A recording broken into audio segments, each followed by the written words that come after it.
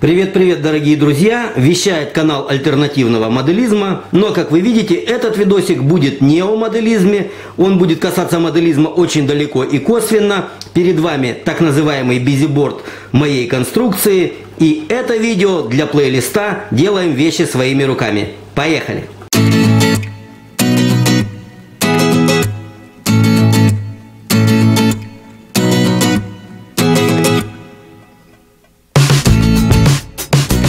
Итак, бизиборд или доска для занятий предназначена для детей в возрасте от 1 года до 3 лет и способствует развитию мелкой моторики рук. Конечно же, есть подобные доски и промышленного изготовления, и совершенно разнообразного наполнения, но в данном случае я использовал принцип творческого зуда и изготовил такую доску самостоятельно. Давайте же рассмотрим, из чего она состоит поподробнее. Помимо развития мелкой моторики рук, данный бизиборд поможет адаптировать ваше чадо к бытовым условиям. Итак, моделируем ситуацию. Отправили вы ребенка на лето в деревню к бабушке. Подходит он к туалету типа сортира и открыть дверь ему мешают какие-то странные приспособления. Пока он скачает на свой смартфон приложение, которое открывает шпингалеты, вот тут-то он и обделается на пороге вышеупомянутого сортира. Поэтому с детства приучайте пользоваться его высокотехнологичными запорами типа крючок и типа шпингалет. Не пригодится в деревне, пригодится в общаге 100%, потому что общаги вузов ну никогда не шли в ногу со временем. К тому же вот здесь за дверцей можно приклеить наклеечку, либо же картинку с изображением любимого героя сказки или мультфильма вашего ребенка и тоже с этим делом придумать какую-нибудь игру. Чуть ниже расположен двухклавишный выключатель. Естественно, в целях безопасности здесь никакой электрочасти нет, но ребенок приобретет необходимые навыки по включению и выключению освещения в квартире. Может быть, ему будет не очень интересно это делать, потому что кроме щелчка ничего не происходит, ничего не загорается, но тем не менее на какое-то время вы сможете отодвинуть гибель ваших рабочих выключателей, которые установлены в вашей квартире. Рядом с выключателем у нас расположен ролик-залипалка. Принцип его действия очень прост.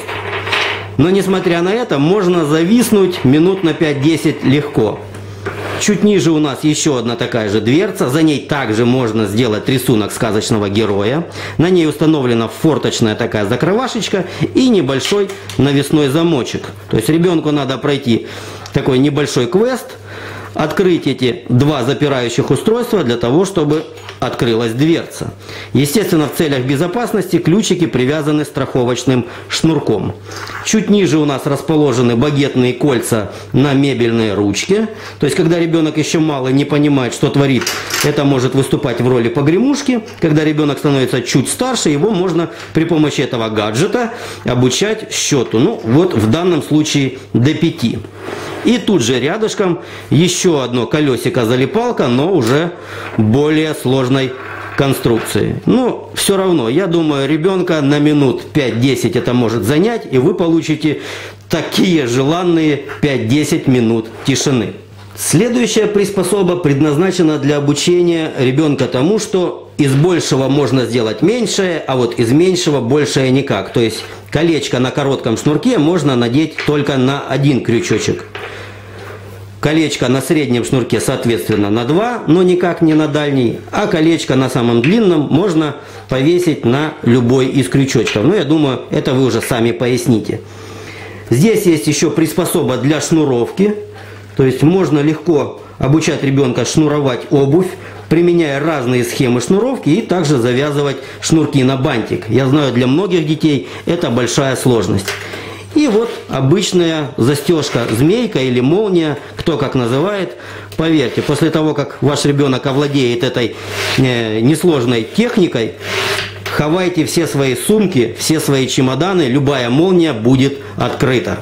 В верхней части бизиборда самое технологичное устройство, потому как внутри этого корпуса от э, датчика движения установлена батарейка крона и вставлены светодиоды. Вот при нажатии кнопки все это дело загорается, то есть я специально не стал делать никакие звуковые эффекты, вот, потому как звуковая игрушка это вред, куда безопаснее и спокойнее для родителей просто небольшой световой эффект. Здесь розетка и, естественно, прикрученная с ней вилка. Естественно, без какой-либо подачи напряжения.